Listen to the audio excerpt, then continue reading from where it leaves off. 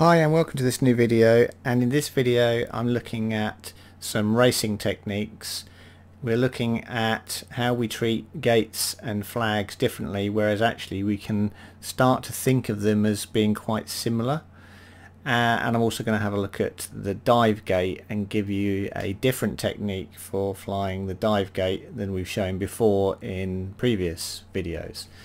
So if we just do a quick cruise of this track that I've made up. It's basically a big circle. Uh, three flags and three gates. And the idea of this is to show how we treat gates and flags very differently, but in fact we can treat them in a more similar way uh, than rather than treating them differently, and that will give us a faster line. So if we talk about flags to begin with, the way most people fly flags is to fly as close to the flag as possible because certainly on a, a course like this the closer I fly to those flags the tighter my line is the less distance I'm flying and therefore I'm faster. Whereas if I start to swing out in this curve I'm now flying further and therefore I'm slower. So with flags we tend to just take the view well you know the closer you get to the flag on a sweeping bend like this, the better, because that, that is the fastest line. Now, when it comes to flying gates on a curve like this, the temptation is to do what we do with all gates, which is to aim for the centre of the gate. And there's a reason why we normally aim for the centre of the gate, which is what I'm doing now, and that is that that's the area where there is the most room around the quad. It's the highest part of the of the gate and there is the most gap to either side so it is the safest part of the gate to hit. However, when you're flying a curve like this, what tends to happen is you tend to end up getting thrown out. So you, you end up out towards the edges of, of the gate like I'm flying it now. Because as you pick up speed, you start to get some side slip and you end up like that, hitting the outside of the gate. You're aiming for the middle, but you hit the outside leg on the gate.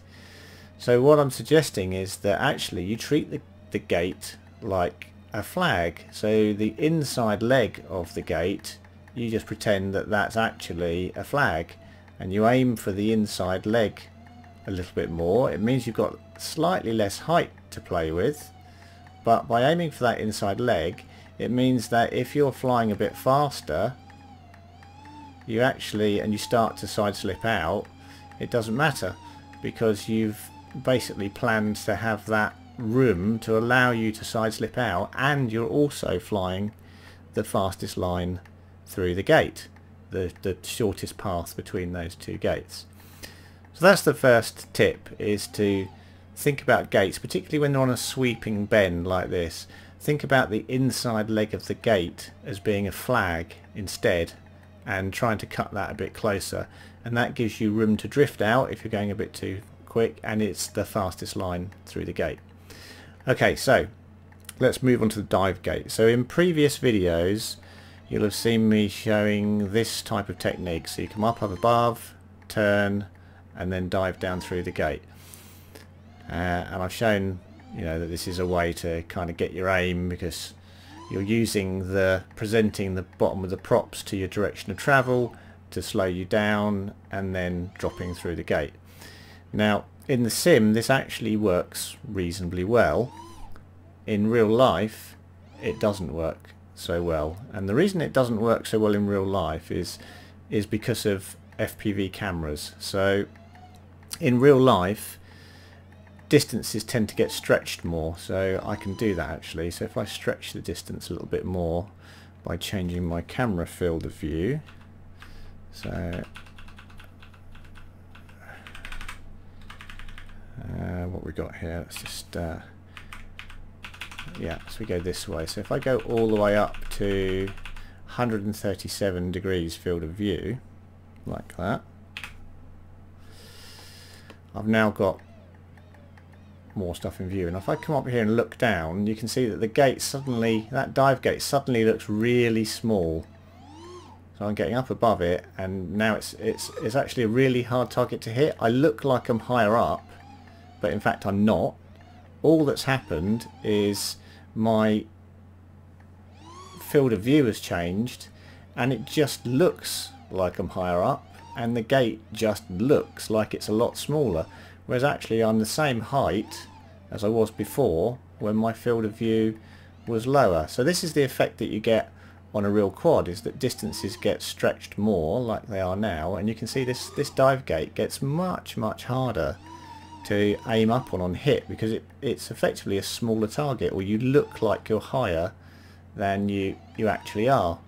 And if you try this in the sim for yourself and set the field of view to 137 you'll suddenly think to yourself wow yeah this this is it's quite hard to hit this this dive gate. And that is the same effect you'll get in real life with an FPV lens is you'll get that distance stretching and the dive gate will look like it's really hard to hit so how do we combat this how do we fix this problem of the quad looking like it's higher than it is because of FPV lenses stretching the distance but still being able to attack this gate uh, and fly at speed. And the way we do that is by changing our approach to it. So previously I've told you to fly up high like this and then try and drop in and you can see that it's really quite hard to do that with a wide field of view camera. So the easier way to do it is actually to stay low and then just pop up as you get to the gate. So you just stay really, really low, pop up, and then you don't fly up as high at all. So you're effectively minimizing that distance stretch. And all of a sudden, as you can see here, this dive gate is now suddenly much, much easier to make it through. And all I'm doing is just staying low, popping up, and then flying back through it. So just stay low, pop up, Oh, I overshot that one a little bit. But you can see each time I'm, I'm managing to make the gate reasonably easy. Even though my distance stretching is really quite large here, I'm still able to make this gate really quite easily just by staying close to it. Just popping up, targeting and then coming back down. And because I'm not dropping very far, so I'm not very high above the gate, it's making it much easier to hit. Whereas if I go back to my way I was doing it before where you fly in higher you can see all of a sudden it's a big drop and you tend to hit the ground as you're coming through it because it comes up at you suddenly and it makes the whole thing much harder. Now if I change my field of view back again to uh, a more typical sim field of view we come back down to 120 like that you can see that when you're up here it doesn't actually look that small anymore and it's now easy to hit again. And this is all the effects of camera perspective. You can still hit the floor because you're dropping down quite quickly from that from that height into the gate. So you've got to be careful of that still. But it's a less effective way of flying and this field of view or distance stretching that you get with FPV cameras does make using this particular technique of flying high and then just turning above it and dropping in really quite difficult in real life. But as I say the combat to it is just stay low pop up and the gates just stays the hole stays close to you if you do this. You know you're minimizing your, your height gain and even though I'm flying through this gate the wrong direction it's still easy to hit. If I come this way it'll be a bit easier. If I pop up I can then come back down through it. But you can see it makes it much easier just staying low and then just popping up for the gate and if I put the field of view back up again and mimic an FPV type lens which incidentally I mean I've only gone to 137 an FPV lens is normally about 150 degrees field of view so you can see how this gets exacerbated in in real life uh, with a real FPV camera. Now you just you can still hit that gate but because you're staying low you're not getting way up above it and then and then making it look like it's a little tiny gate that you're trying to hit uh, and that's the technique for making it through dive gates. Just stay low and then just pop up and make your way through it. and it makes it a whole lot easier. As I say in real life. In the sim if you're running lower fields of view like we normally do which are the 120s then you can still use the previous technique and it will work fine but it doesn't transfer very well across to real life and real FPV lenses. Okay that's it. I'll see you on the next video